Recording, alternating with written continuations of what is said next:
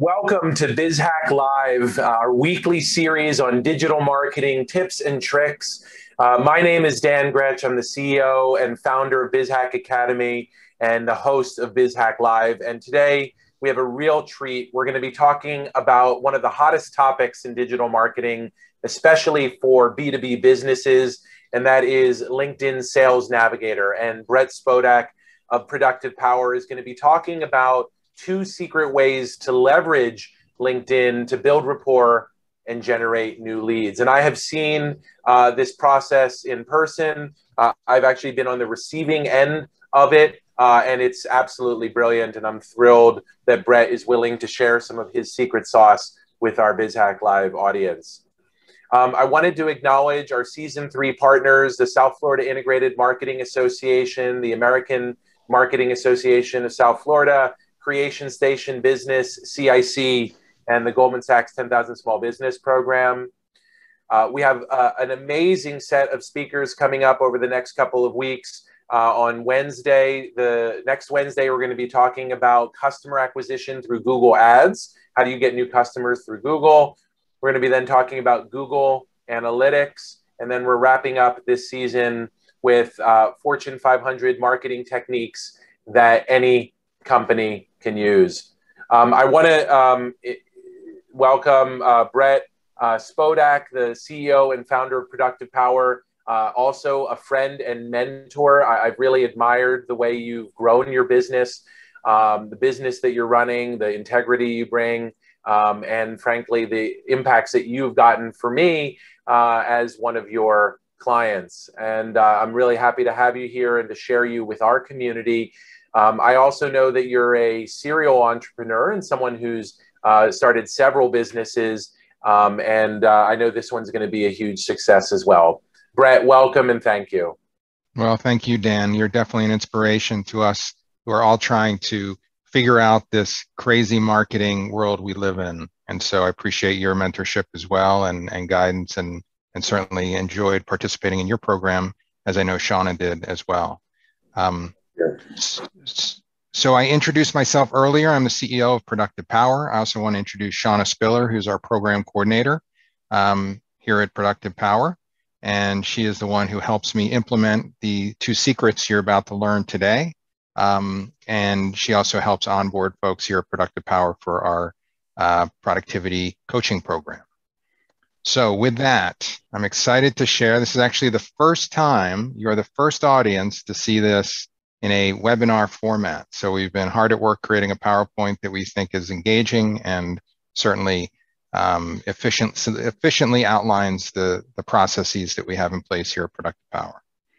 So as Dan mentioned, uh, the processes I'm about to teach you are essentially what we've used here at Productive Power uh, to generate over a million dollars in revenue in our business. And so uh, we really don't um, spend a lot of money on marketing. We generally generate a lot of our marketing, a lot of our prospects and, and sales in the present in the in the process that I'm going to share with you today. And so with that, I'm going to share with you what we do. So let's start out with a little background about LinkedIn. Uh, as you may know or may not know, LinkedIn has over 171 million active users. So approximately 350 million people in the United States, just about half of them are using LinkedIn. Um, they're over, yeah. I'm sorry. I, I don't know if you're sharing your screen already, but we are uh, not seeing the presentation. Are you not seeing it? Let's see it.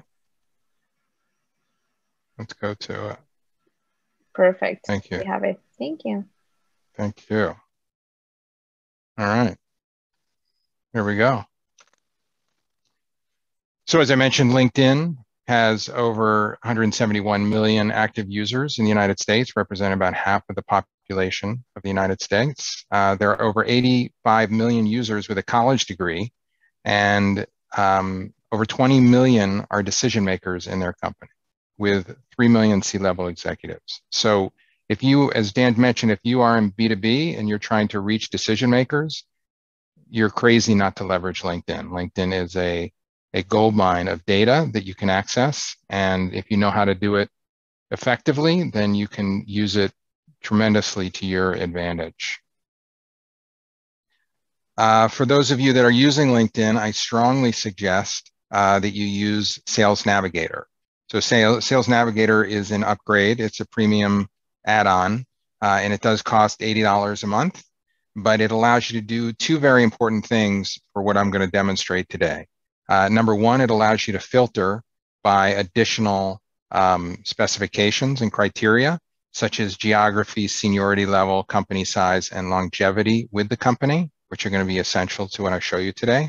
Uh, it also allows you to create lists, lists and pull people in for certain, um, with certain criteria. And so again, these are two essential uh, pieces of functionality that will allow us to do what, what I'm going to show you today.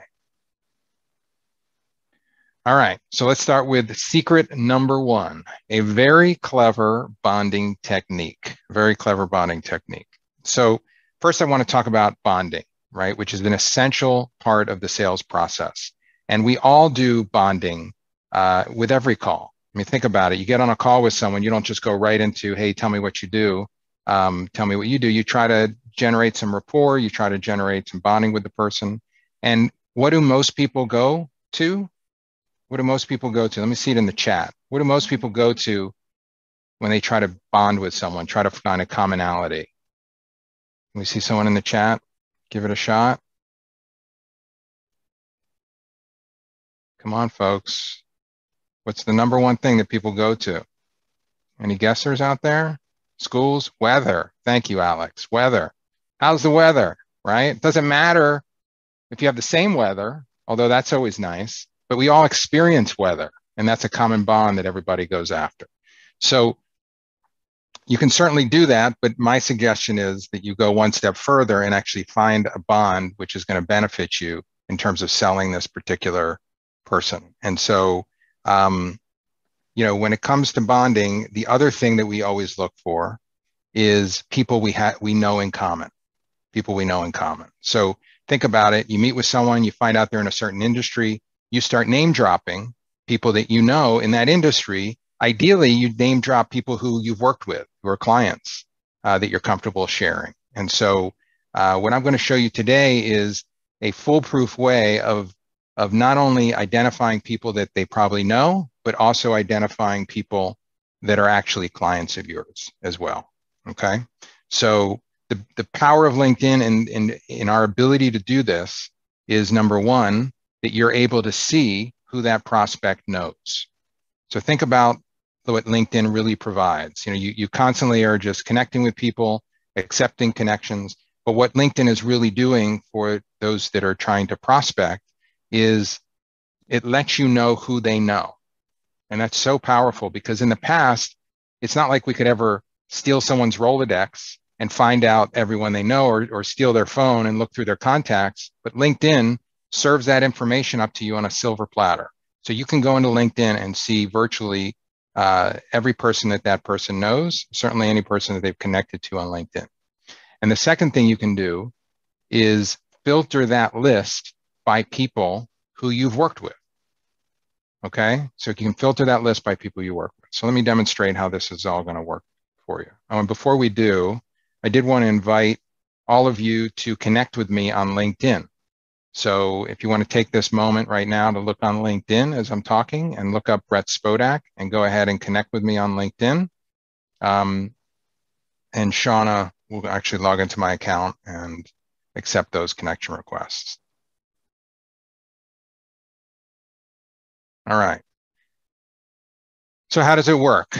Well, here's someone we all know in common, Mr. Dan Grech on LinkedIn.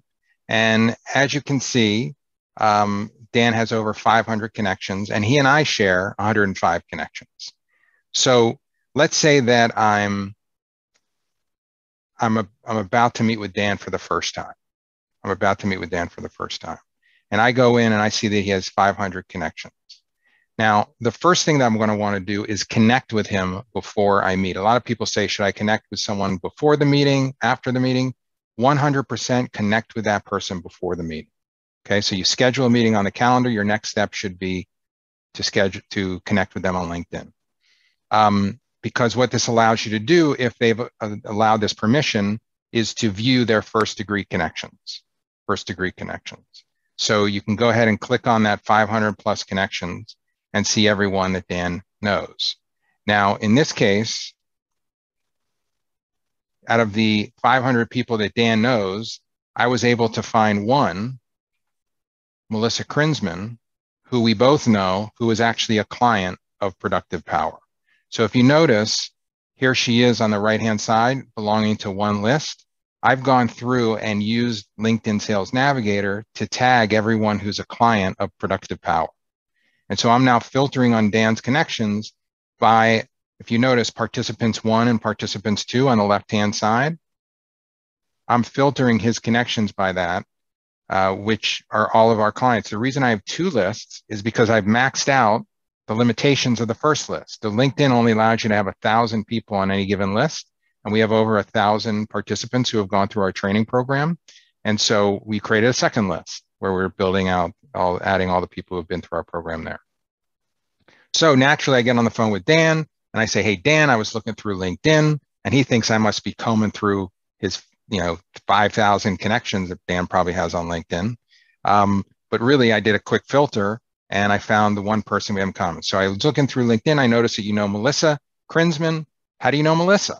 And then he shares with me how he knows Melissa. Oh, Melissa's great. She's a client of ours, and she's you know really happy with the service. And so there we have a bond, but it it does mutual benefit of making him feel comfortable with me because we know someone in common, but also giving him a built-in testimonial, somebody who he can call, who he trusts. Uh, so if he becomes interested in our service, then he's going to check with Melissa and ask her what she thought about the program. Okay. So very powerful way.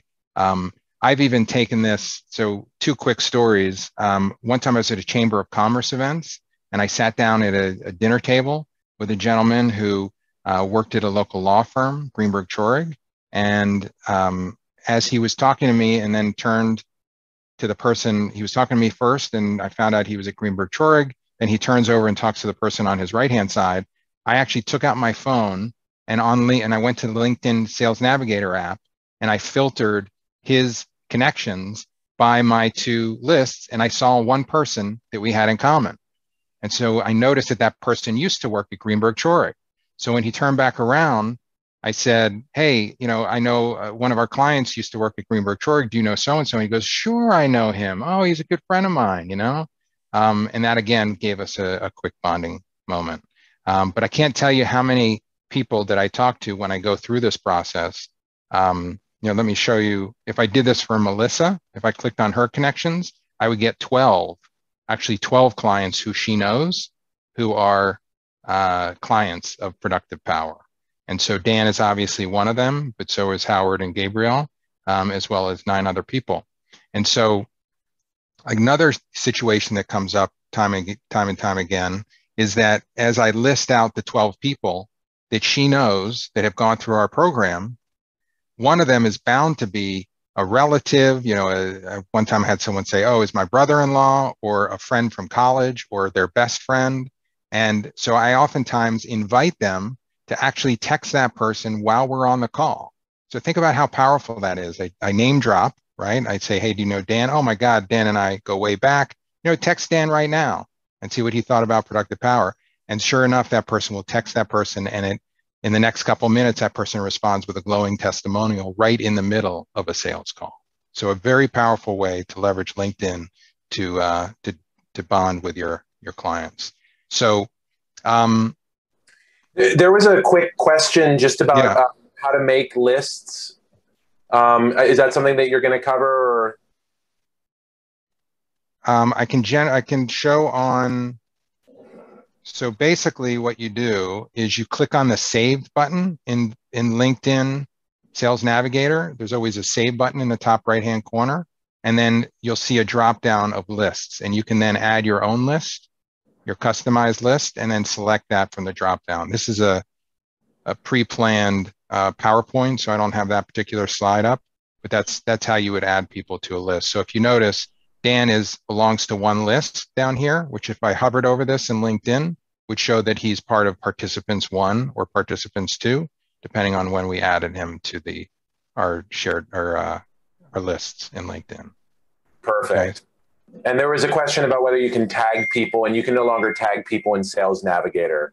That's right. They replaced tags with lists. They had both, and then they basically um, uh, decommissioned that functionality and took it away.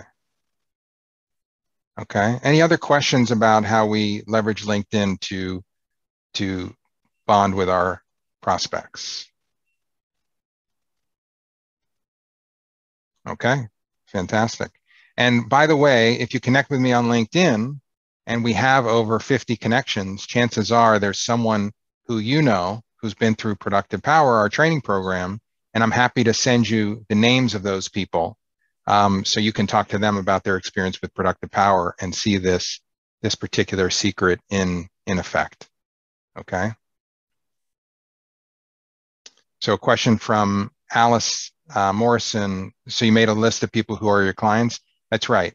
Um, so basically, any person who goes through Productive Power, um, our our CRM sends out a notification to the entire sales team with a link to that person's um, LinkedIn profile, so that everybody, all the salespeople in our organization, can click on that link and add that person to their own participants list, so that um, we can see them. Now, I want to bring up that if you have a single user LinkedIn account, you all, each person in your company has to create their own uh, lists within Sales Navigator. If you have the team version, you can create a shared list that you all can use.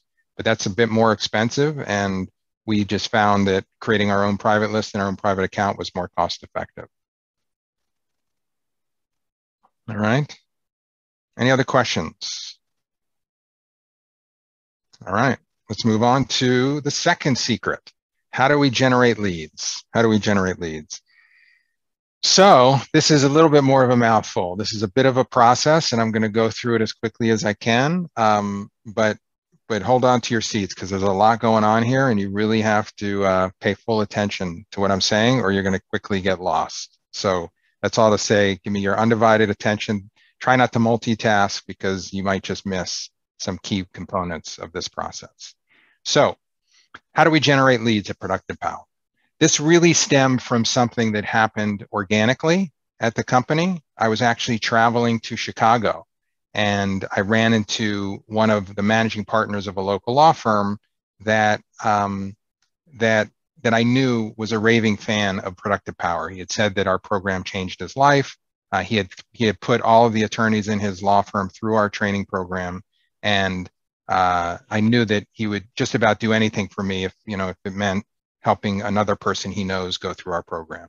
So I said, uh, I said, I'm going to Chicago. Any chance you know any attorneys in Chicago that you think I might want to meet while I'm there? And he said, absolutely. I know so and so that that's at a law firm uh, in Chicago. Um, you know, happy to have you use my name. He said. And I thought at first, oh, this guy's not going to send an email introducing us. You know, he just says I can use a name, but I, I went with it. I wasn't going to ask him to do anything he wasn't comfortable doing. So um, he gave me the name of the attorney, and I found that attorney's name on LinkedIn. I then found his email. I went to the law firm's uh, webpage and I found his email, and I just reached out to him I, as a courtesy. I CC'd the attorney and I said, um, you know, this particular attorney suggested I reach out, thought you would be interested in what we do. And I told him a little about what we do. And I said, I'm going to be in Chicago. I'd love to set up a meeting if you're interested. And I CC'd him on that email as a courtesy. Well, guess what? He replied to both of us with a glowing testimonial about the impact that Productive Power had had on him and his, his team. And sure enough, in all of two minutes, the guy responded and say, sure, Brett, I'd be happy to meet with you. And I thought to myself, this is amazing. This is amazing. This all happened organically. What if I was able to harness this process and create a whole system around doing this for me and my team? This could be a way that we generate lots of leads from LinkedIn. So, and actually we didn't, we barely even used LinkedIn at that point. But I, I, when I saw the power of LinkedIn, I thought to myself, LinkedIn would be a, it would be really helpful in doing what essentially he and I just did. So first of all, there are a couple caveats to this or a couple requirements for this to work.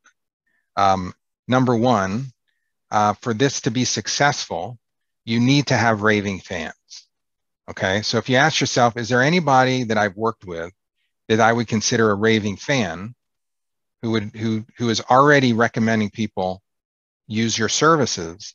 If there, if you can't think of anyone who does that, then you need to reconsider what services you offer to people because you really need to make sure that your particular services wow people or it's going to be very hard to be successful in this world because so many so many businesses are made on positive referrals that you really need to make sure that the people that have used your services are walking around talking about what you do. So first step is make sure that the service you're providing generates raving fans. That's essential to growing any business. Um, the second thing you need to know is that LinkedIn allows you to see who your raving fans know. So in this point where I just asked him if he knows anyone in Chicago, it'd be much more powerful to me to say, you know, and I noticed that you know so and so and so and so, or these particular people that you know, which one of them would you feel comfortable introducing me to?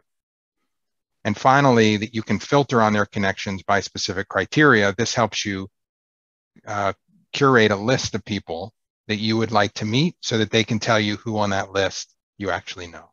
So you didn't catch all the nuances of that, don't worry. We're going to go through step by step how it all works, and it's going to start making sense in terms of what we do.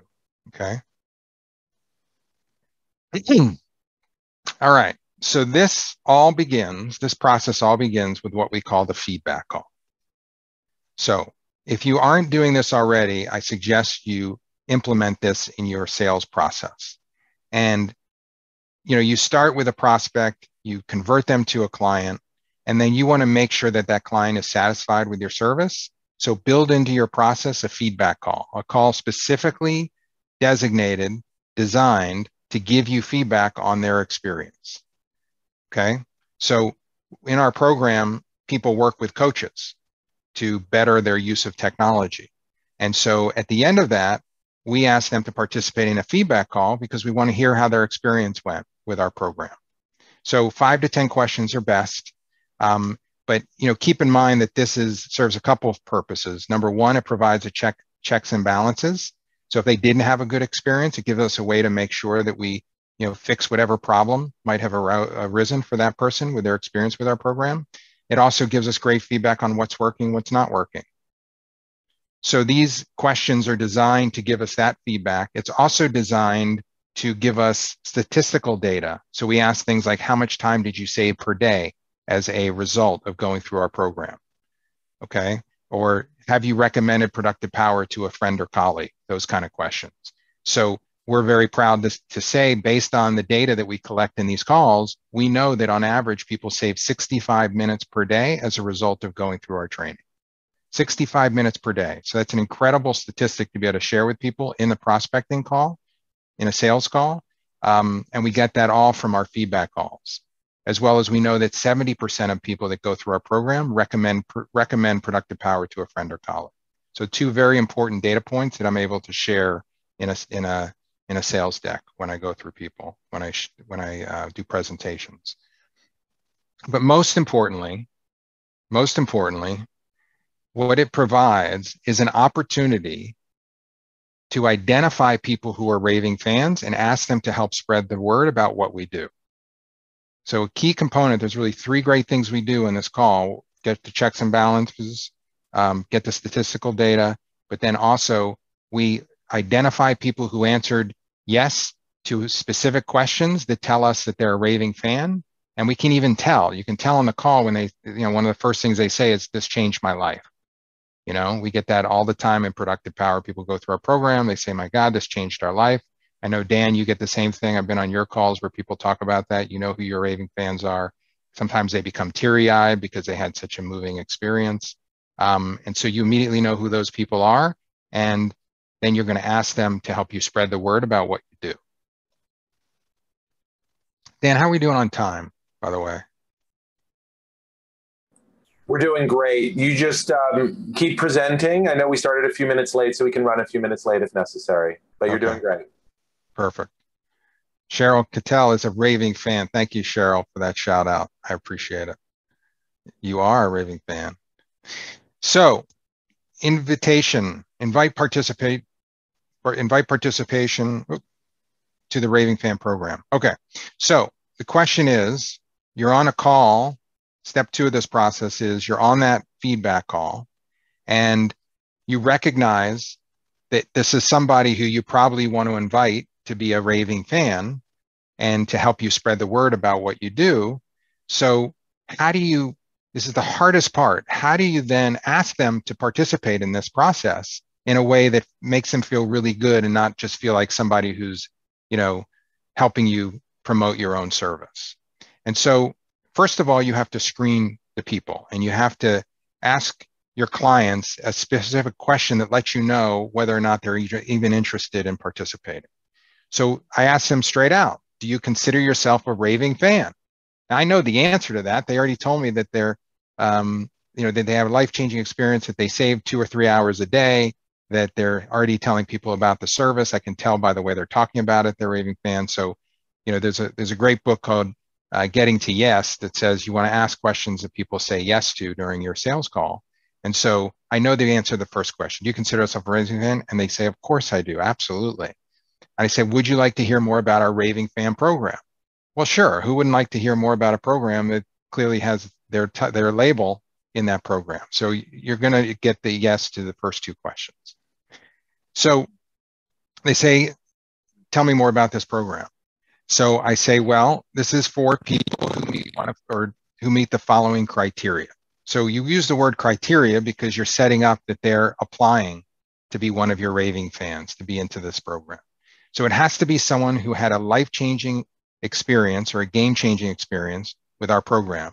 So depending on how impactful we were, I'll use the word life changing or game changing because I don't want to promise life changing and then they say, well, it wasn't life changing. It was only, you know, very, very, you know, game changing um, with our program. So that's the first thing you say.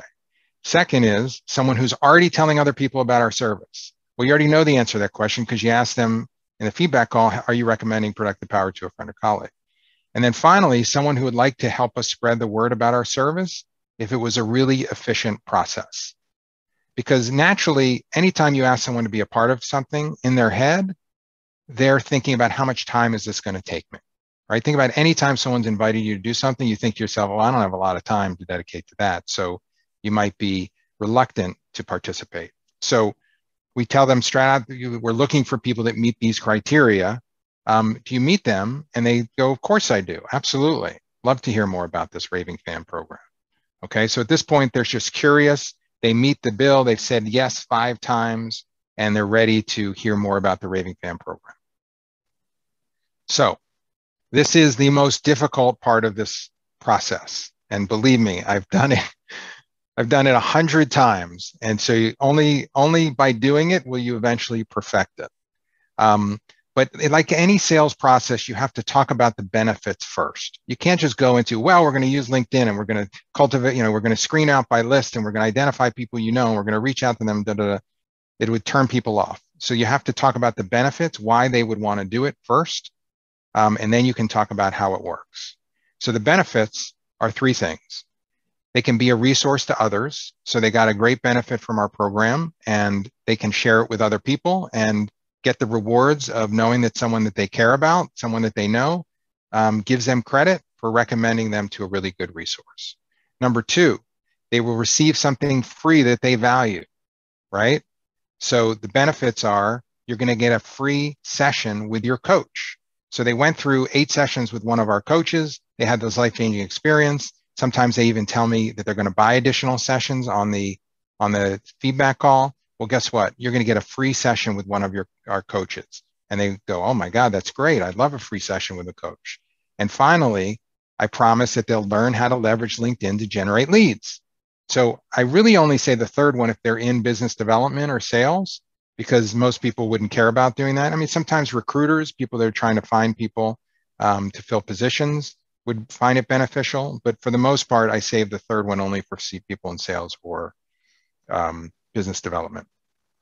But the first two are enough for most people. Absolutely. They're already telling other people because they want to be a resource and they love a free session with a coach. So now they're hooked, right? They've said yes now seven times. They'd like all these, they are all these, and now they want to know how it works. Now, there's a tendency when you get to this part to want to go on and on and explain the whole, the whole process. The problem with that is the more they hear you drag on and on talking about this process I'm about to show you, the less likely they're going to want to do it because it's going to sound like a lot of work. And it's going to sound like you're working too hard to try to convince them to do it. So what's key here is to keep it short. Keep it short, simple, and make it seem like it's not a big deal. Okay, because it really isn't. So you're going to spend about 10 minutes with me looking through LinkedIn to find people you know who you think would benefit from a service. And then I'm going to reach out to them and use your name to try and get a meeting. That's it. Seems simple. I just said the word 10 minutes. It sounds like it's 10 minutes. It's really not. It's going to be about 30. But the part where we look, we look on LinkedIn is going to only take about 10 minutes. Okay. They've said yes seven times. You say this nine times out of 10, the person says, absolutely, sounds interesting. I can't wait to see what you do. You've already taught me so much. Now you're going to teach me how to leverage LinkedIn. I'm in. When can we schedule it? And we schedule a one hour outreach call, we call it, um, to do the process I'm about to show you. Any questions so far? All right, let's keep rolling. So the outreach call, how do we leverage LinkedIn to do the process that I did with the attorney in Chicago? How do we leverage LinkedIn to effectively um, meet their connections? So it, it's a couple steps. So the first thing you need to do is make sure you're connected with a client on LinkedIn. Okay, that's step one. Uh, step two is you have to filter their connections to find process prospects you would like to meet. Step three is you want to work through the list efficiently by asking your client to simply say the names as you move through the list. Uh, you want to add prospects to a lead list in LinkedIn. And finally, you want to export those that list using Wiza or an alternative email scraping platform. So let me walk through what it looks like. So I get great, I get Dan on the phone and he's one of our, and we actually did this with Dan. He's one of our raving fans and we clicked on his 500 connections on LinkedIn. And you get this page where you can filter the search.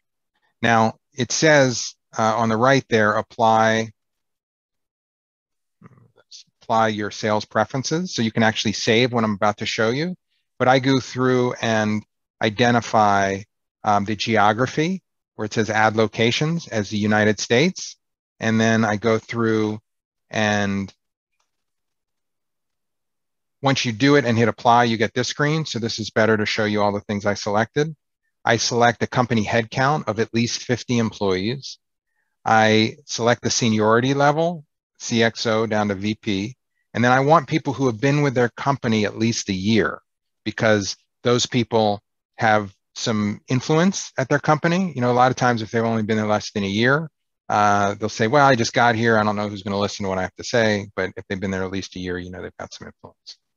So this allows you to filter down a couple thousand connections to maybe a couple hundred. But these are people that I want to meet. Now, this may not be your criteria. So you may have different criteria that you want to meet. But for most of us looking for decent sized businesses with decision makers, these are pretty standard that you want to filter on. So you can save these, apply to your sales preferences, and click one button, and all of them will populate the filter. So now we're down to, um, let me see, how many? 289 that came up when we did it with Dan. 300 is a good number. It doesn't take too long to go through those. And then what you do is you go through and you say, um, Dan, this is exactly what I say. We're about to go through this list. Please identify anyone who you know well enough that you would say this is a good candidate for productive power and also, you know well enough that if we used your name, they'd probably take a meeting. That's it. So Dan's starting to think of, he's looking down the list, who do I know really well? Who are my friends? Who are people who respect me? Who are people that if you use their name, are going to connect? And I say to Dan, you know what? I'm going to go, I'm going to page through this list. So we use page down as we go through the LinkedIn names. And we ask Dan simply to say the person's name or say next, because you want to keep it efficient. You want to be able to fly through all these names because it it's going to be about 11 or 12 pages and you don't want to get take have it take too long. Um, i can't tell you how many people start giving me the whole story of how they know each person and and they went to college and they give a you know why he they think he would be interested in and you have to politely just say you know what? Well it's going to take more than 10 minutes. If you if you it's one of those sensitive things you want to be polite about how you ask them to just say the person's name or say next. So here we go and check the boxes for the people that meet uh, that Dan thinks would be good prospects for us. And then we add them to a list. It's that simple. You add them to a list, you create a new list with that person's name, you add these people to a list. At the end of it, you'll have a list of all the people that Dan recommended that you reach out to. You can show Dan the finished list at the end. He can look down. Typically, we get around 30 names when we do this. So think about that. We've now efficiently, in 10 minutes, had them identify 30 people who they know well enough that they would feel comfortable having us reach out to. A lot of people use LinkedIn by first identifying people that they want to meet and then going backwards and seeing who they know who might know that person. And then they reach out and that person doesn't even know that person well. Think about the time wasted.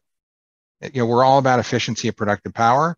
And think about how long it would take to go that route to find 30 people versus the route we just went by first having Dan identify people he knows and then, or filtering first the list and then identifying people you know versus the other way around. So now we have a list of, in this case, seven, but you know we typically have on average 30 people in a list.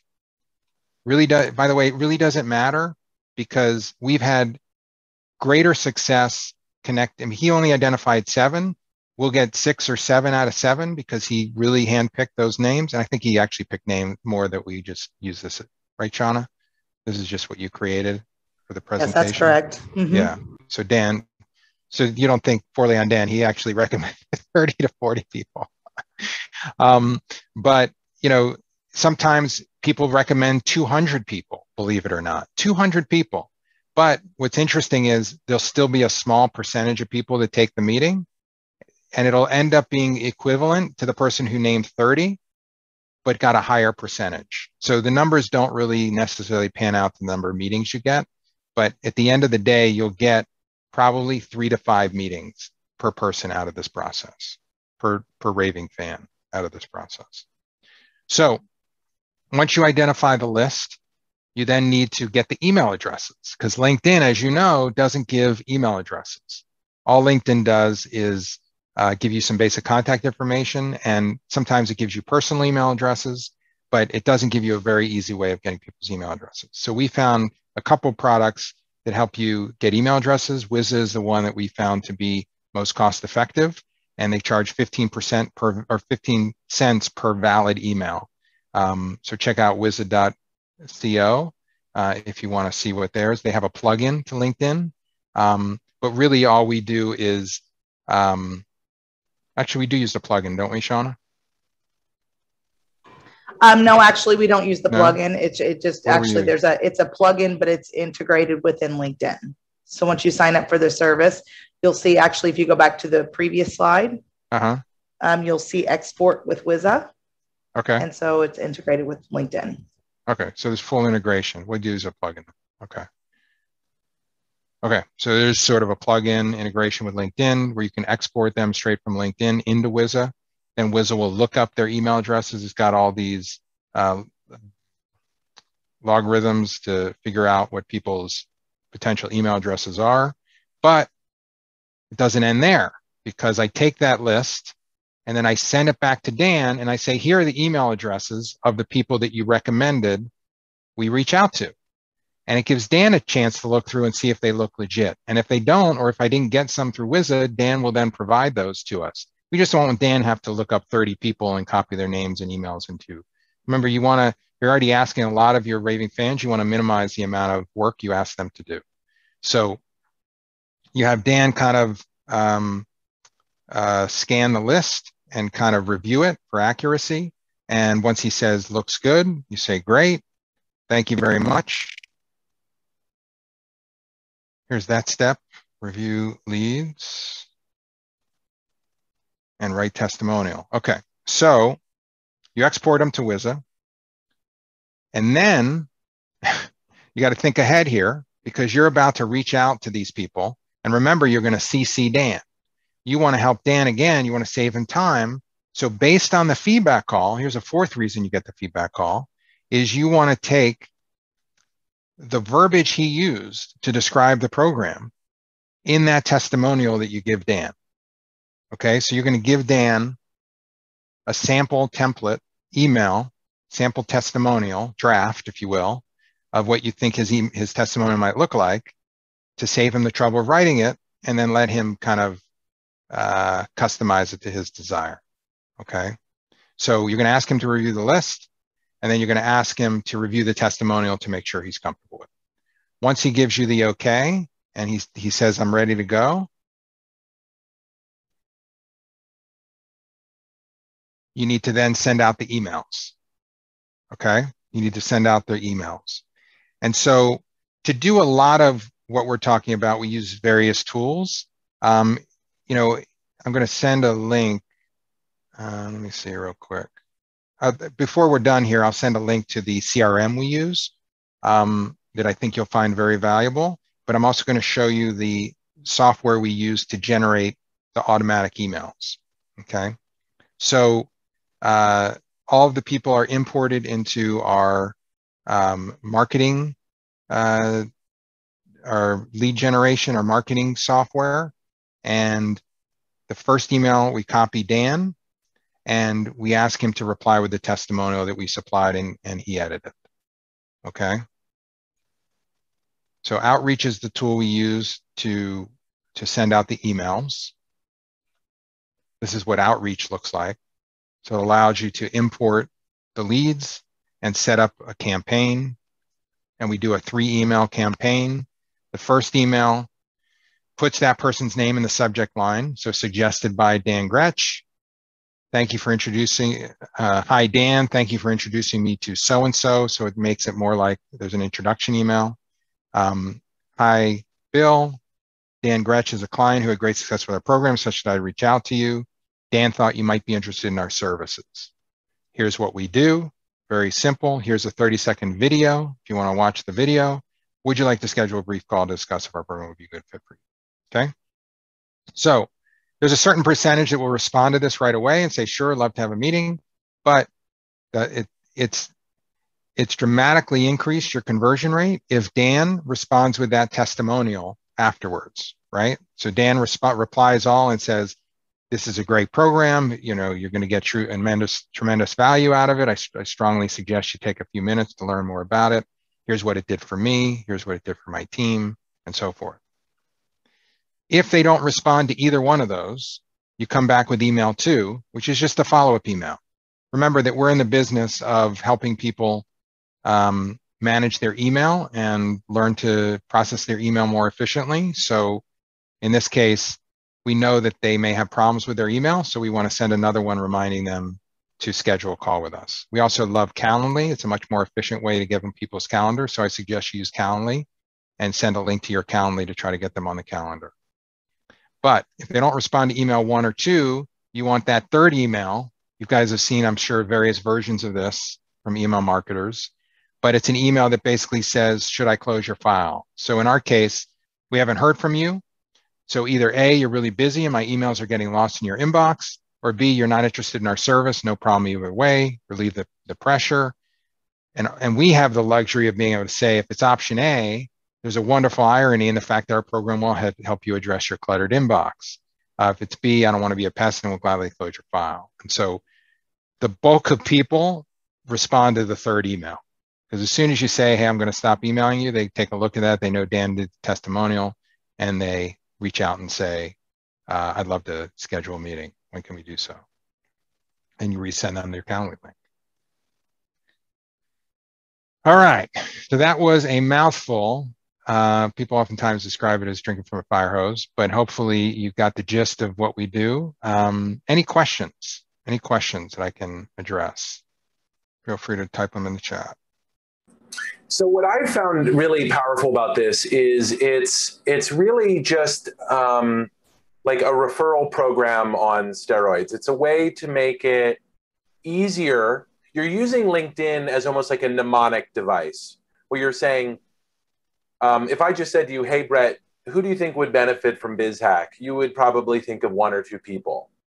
But if I said, "Hey Brett, I looked through your LinkedIn's, and these are the types of folks that would benefit from BizHack. Yes or no? Do you agree? You're going to get 30. Um, and so it's essentially the same desire to refer. You're giving them a mnemonic device, leveraging their LinkedIn to make it easier for them to give you more names.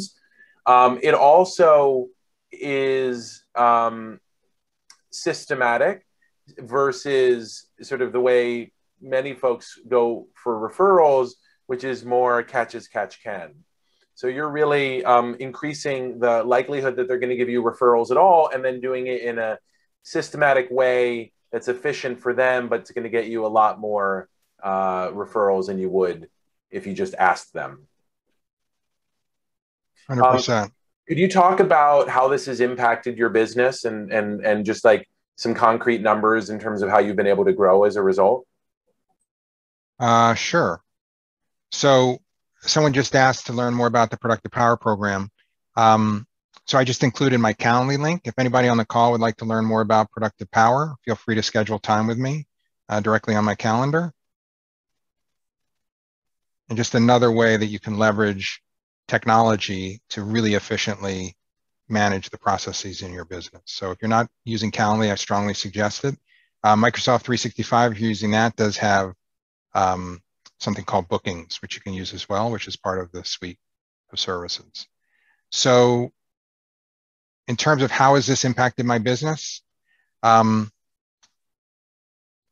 it's generally, it's, it's virtually been responsible for our growth. So we haven't done much. You know, Dan was kind of the first thing we did to open our eyes to the, the power of social marketing and, and Facebook ads and that sort of thing. Um, but because we kind of stumbled upon this process with LinkedIn, we got so busy we didn't even have time to to leverage anything else to generate business because in our business we pride ourselves on on giving our customers a incredible experience. We kind of under promise and over deliver in terms of their experience with our service. And so we knew we had all these raving fans going around and that most people are not looking for what we do. Most people don't wake up one day and say man i wish i could find a a, a technology consultant to help me work smarter to help me leverage my technology in a more efficient way. And so we knew that if that wasn't the case, if people weren't going to Google and typing in technology consultant, then we needed to figure a way out or figure a way to communicate to the, the world what we do. And the best people to help us do that are people who think our program is amazing. And so it kind of created, it, it kind of grew organically from something that was already happening. But we just, as your point, Dan, we used LinkedIn to kind of put it on steroids and it, it it virtually has been responsible for our success. I mean, to the point where right now we have five full time coaches that provide um, training around digital tools. And we have 100 time slots, and we only have 10 left for the month of June. So we're booking out two and three months, and we need to hire another coach. Um, we're also hiring another salesperson because we know that we have proven processes in place. I mean, scale is all about having proven processes that you can hire additional people and know that they'll be successful. And so, you know, we know that this process works, so we know that we can hire a salesperson, and if they leverage this process, it will help grow their book of business as well as uh, their their lead pipeline. And do you have a sense of the average person you enroll? How many new customers result from them due to the Great. referrals? Great question. So I can tell you that a fourth of the people that go through our program identify themselves as raving fans. A fourth of the people. On average, a person will give us 30 names. Okay. So a fourth of the people that go through, so let's say, uh, let's make the easy math 20 people go through our program. Five of them will say they're raving fans. Okay and they'll give us 130 leads on average. I'm sorry, 150 leads, five times 30, 150 leads. Of those 150 leads, 20% will take the meeting, and half of which will sign up for our service. Okay, so let's do the quick math on that. Right? 130, I'm sorry, 150, um, 20%, so 30 will take the meeting. And of the 30, 15 will end up becoming clients. Okay. So it's almost a, if you have, so in this can, scenario, you had 20 clients, 20 clients, 15 new clients as a result. Right. So, so 20 generated 15 new clients. But here's the beauty every client generally sends two and a half people through our program. Right. So it's not a one to one. So we got 15 new clients, but on average, they sent us 30, let's call it 30 new people.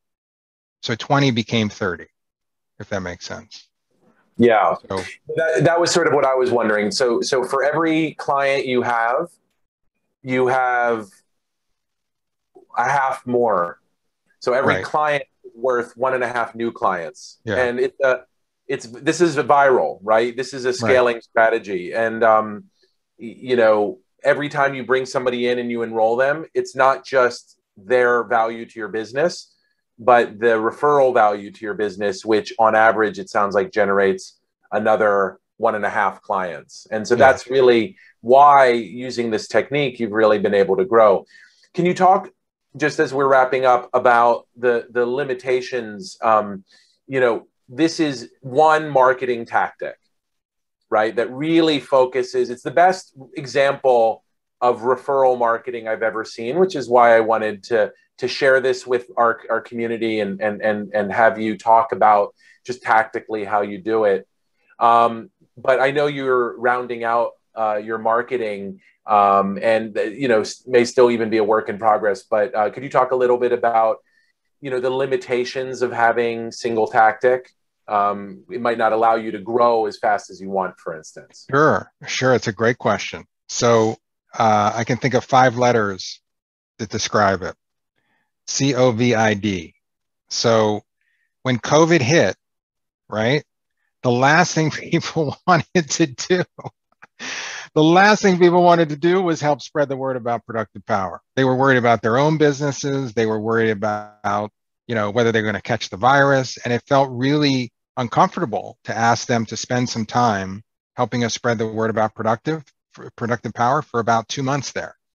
And so we were really scrambling because we thought, oh my God, our our lead pipeline just basically went dry because we were we were all in on this one particular tactic.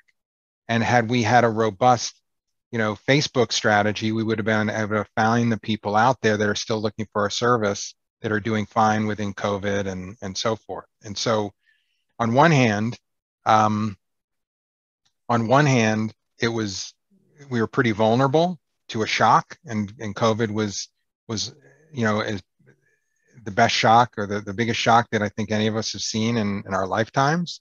Um, but the other thing that happened was because of the nature of, of how our system works, we were able to pivot within the referral process to people that were successful. So, in other words, we didn't ask people to just introduce us to anyone who they knew. We asked people to introduce us to people they think would sign up for our service. And what that naturally had them think about is who do I know that has a couple thousand dollars in discretionary money to spend on a training program? So what we found is the old industries that we used to target weren't really the ones like real estate. We used to have a lot of people in real estate that went somewhat dry and we started focusing more on healthcare and people started referring us to their healthcare referrals and their people they know in healthcare, people that they knew and technology and things like that. And so naturally this process helped uh, pivot us into different industries that were more resilient uh, economically from uh, you know the what was going on with our economy. And eh, conversely, we're coming out of COVID now. Are you seeing a greater willingness to to to do this from your raving fans? Oh yeah, I mean it's and and it within a couple months, people had kind of gotten used to the new normal and they were ready to talk about productive power again.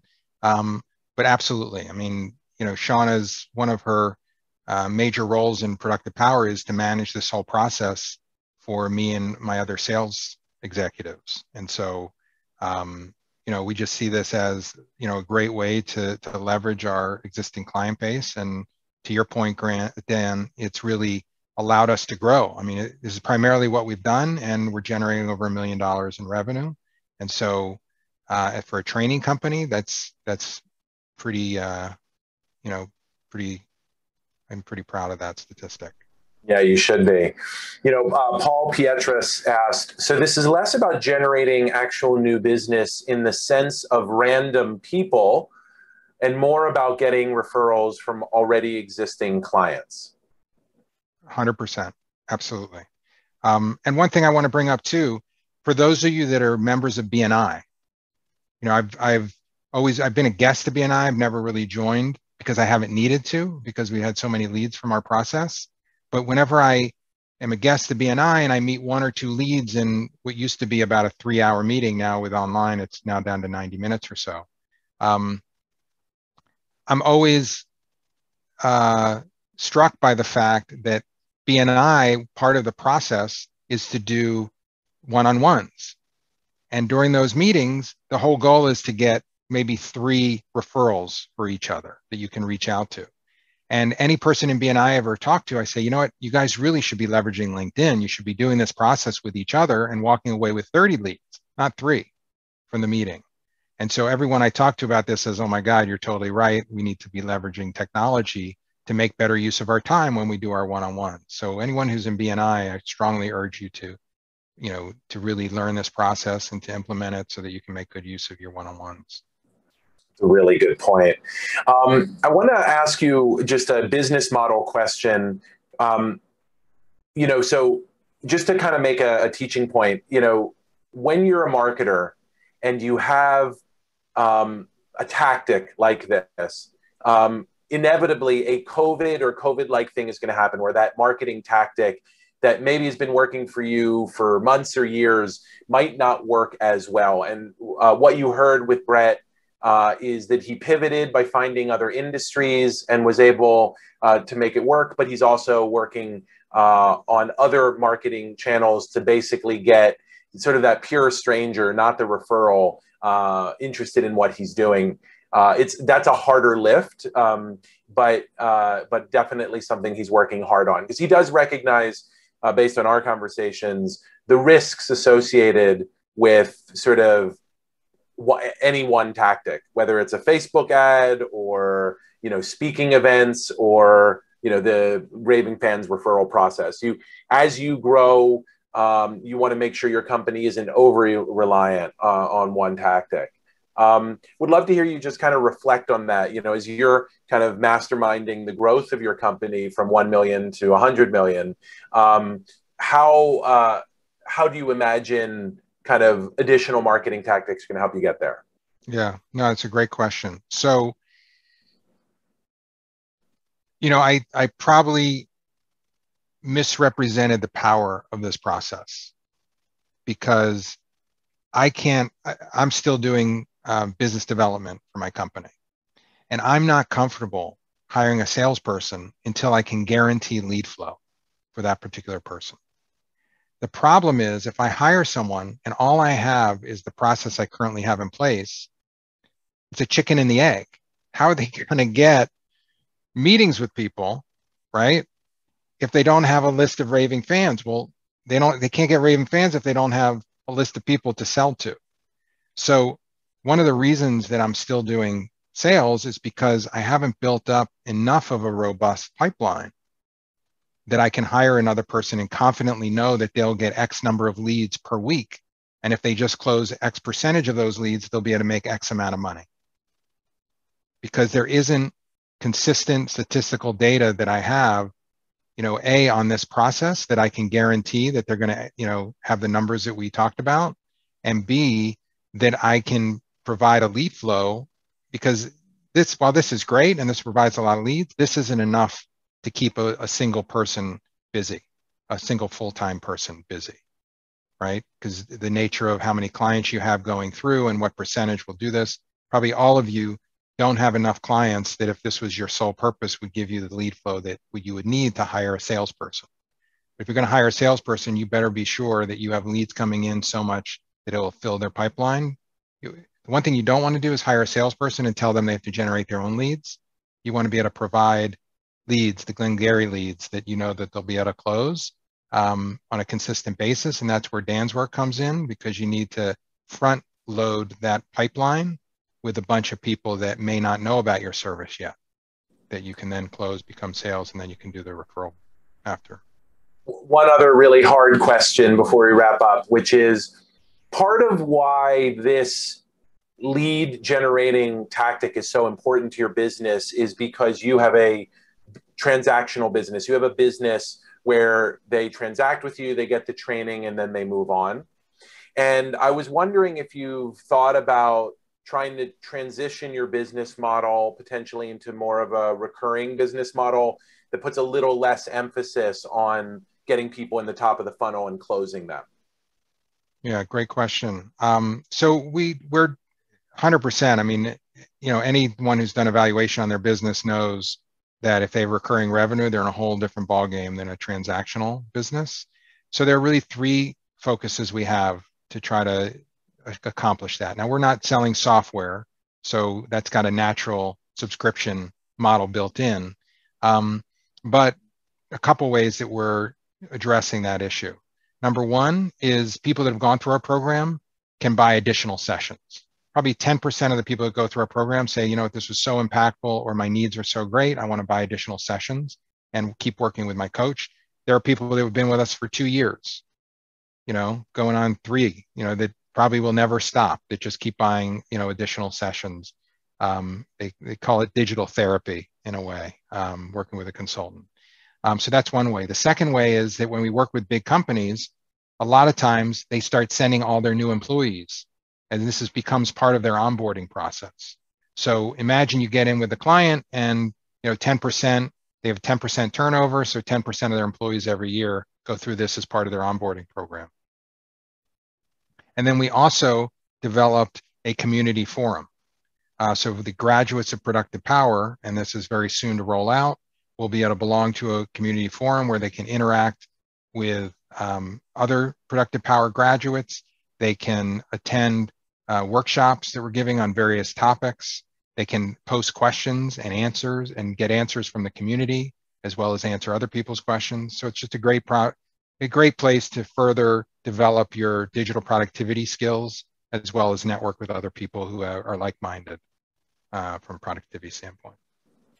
Good for you. Well, amazing things to come. Thank you so much, Brett. Uh, I can't thank you enough for for your uh, presentation today. Um, you know, BizHack, um, one of the great accomplishments that we've had over the the last seven years that we've been teaching digital marketing is what we call the lead building system. This is what we focus on uh, in our uh, accelerated program and in all of our training. The foundation, which is your business story, the six pillars and then the nine step process for implementing them. And you can see the power uh, today uh, in Brett having a systematic process and then a step by step way of implementing it through a combination of uh, you know human to human and technology.